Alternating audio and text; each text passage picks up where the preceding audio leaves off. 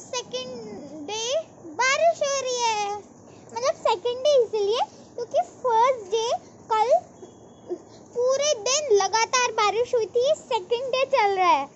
और एक चीज़ और मैं आपको बताना चाहती हूँ।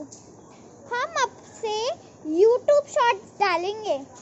हम वीडियो तो नहीं डाल सक, डाल पा रहे, क्योंकि मैं वीडियो वीडियोस हम बनाएँगे बनाना चाह रही थी मैं कि बैकग्राउंड वाली वीडियोस बनाएँगे।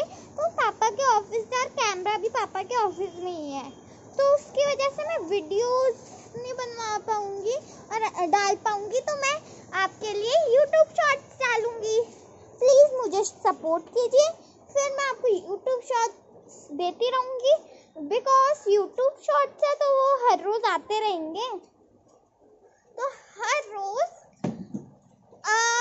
शॉर्ट्स देखना और मज़े करना, मैं तो बहुत मज़े कर रही हूँ बारिश में। बाय और कमेंट करके बताना किसके घर के बाहर बारिश हो रही है। बाय